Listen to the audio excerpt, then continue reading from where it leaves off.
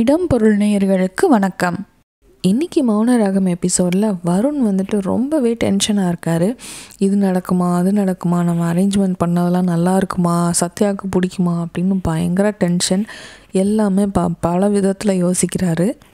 தருணை கூப்பிட்டு அவரையும் வந்துட்டு கார்த்திக் கிளம்பிட்டாரா வந்துருவாரா சார் அப்படின்ற மாதிரி விசாரிச்சுட்டே இருக்காங்க. தருண் வந்துட்டு வந்துருவாங்க நீ ஏன் கவலைப்படுற? அப்படின்ற மாதிரி சொல்கிறாங்க அப்போ தான் சத்யாவோட என்ட்ரி சத்யாவும் அவங்க அம்மாவும் வந்தோன்னே ஏன் இவ்வளோ கிராண்டாக பண்ணியிருக்கீங்க? இதெல்லாம் எனக்கு பழக்கமே இல்லை.